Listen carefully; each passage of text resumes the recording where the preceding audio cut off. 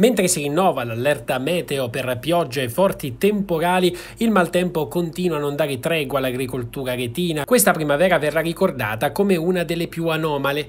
Le intense precipitazioni hanno fatto innalzare il livello di fiumi, proprio come è successo nel Cortonese, a Monsigliolo di Camucia, dove la macchia torrente della zona è straripato con relativa frana, causando ingenti danni all'azienda agricola di Franco Magini. A raccontare l'accaduto è Daniele Baldetti, conto terzista e collaboratore dell'azienda. Siamo letteralmente sommersi dall'acqua, il torrente non ha retto la quantità di pioggia caduta in queste ore e c'è stato lo strap. Qui abbiamo sia campi di girasole che di grano duro e grano tenero per oltre 20 ettari. Per quanto riguarda il girasole è difficile che si salvi anche solo un centimetro, il grano è compromesso, forse si riuscirà a raccogliere qualcosa, ma al momento è ancora prematuro fare una stima. È certo che le piante hanno subito una forte asfissia radicale e tutto questo andrà a farci perdere ulteriore prodotto.